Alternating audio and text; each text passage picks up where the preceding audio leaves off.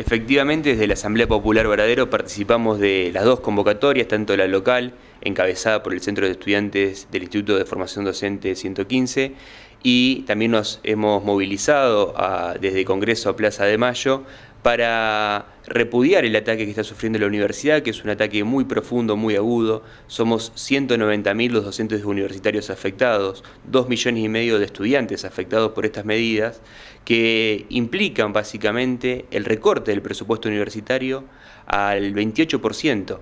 Eh, del original. ¿Por qué del 28%? Bueno, ustedes saben que el, el presupuesto está congelado desde el inicio del año 2023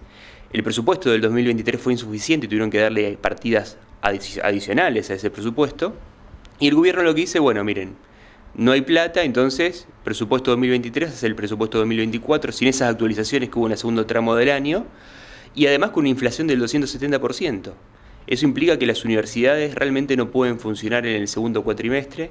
eh, el gobierno después ha salido con dos medidas de aumento del 70%, anunciaron una primera del 70 y una segunda del 70. Lo que no explican es que son aumentos solamente de los gastos de funcionamiento, o sea, de los gastos de para pagar la luz, el gas o tener papel higiénico en los baños, pero lo cierto es que los tarifazos que están viendo en las universidades quintuplican, sextuplican, diríamos, los valores de las tarifas normales, son aumento del 600, 700, 800%, cuando tenemos aumento del 70% de los de funcionamiento. Además de no reparar los sueldos y quitar el incentivo docente. Exactamente, el incentivo docente corresponde al campo de la docencia de los otros niveles, secundario, primario. En el caso de la universidad, el, del presupuesto, el 90% del presupuesto va a la masa salarial de los docentes universitarios y eso no está contemplado en ningún lado y nos vienen imponiendo sucesivamente paritarias a la baja, muy por detrás de la inflación, de salarios de, la docencia que ya son muy bajos. Eh, son muy bajos. Entonces, quiero que ser claro, diríamos, uno no está en contra del gobierno por estar en contra del gobierno, la gente no sale a movilizarse masivamente eh, simplemente porque no le guste la cara del presidente, sino que nos movilizamos porque la situación es muy acuciante, es muy grave, y nos estamos movilizando sectores que son muy disímiles, por ejemplo, las asambleas populares, los estudiantes, los centros de estudiantes, movilizados con la CGT, movilizado con los partidos de izquierda, movilizado con la Cámpora, con la UCR, o sea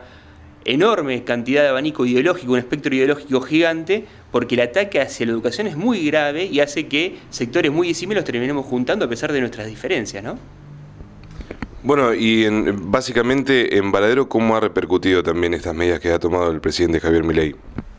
Bueno, son muy distintas, muy amplio para decirlo, pero de inmediato yo desde la Asamblea Popular Varadero lo que quiero mencionar son la paralización de la obra pública, que implicó el despido de 600 compañeros de la construcción,